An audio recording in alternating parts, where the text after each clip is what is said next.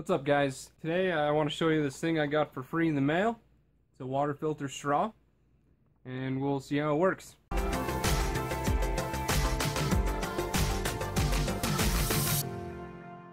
So here it is. Um, I have the Amazon link below if you want to check it out and get your own, so there you go, just for you. So there's a few ways you can do this, I guess. Uh, you can either you can either suck through it like a straw,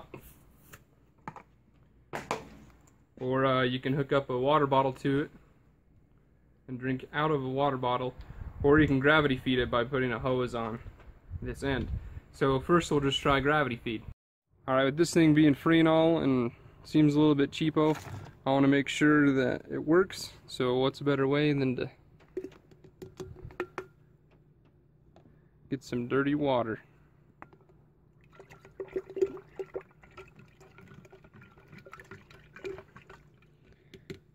And see if it comes out clean on the other side.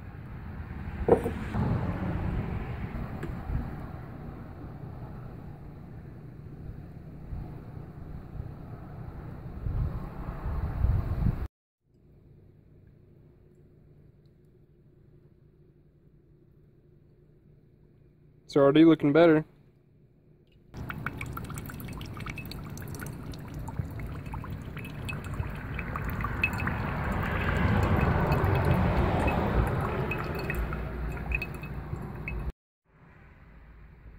So on the left is the before, and on the right is the after. I don't see any floaties or anything in that. I see plenty of junk in this one though.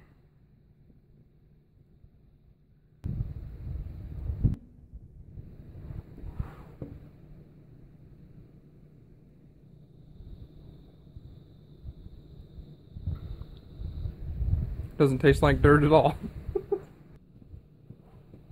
Alright, now we're going to use it as a straw.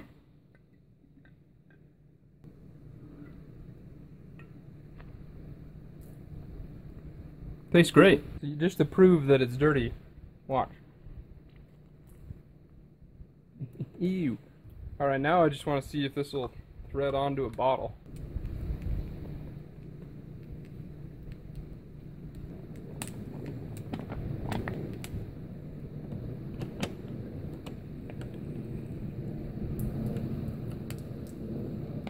Kind of awkward.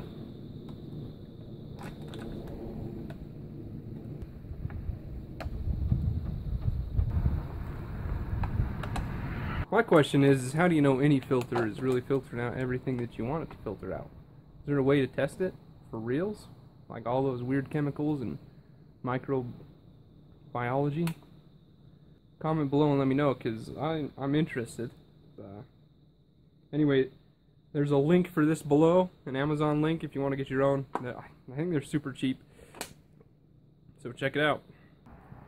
Thanks for watching Detours for Derrik, driving you to do something different. Remember that feeling you got when you built a cushion fort or played in a treehouse?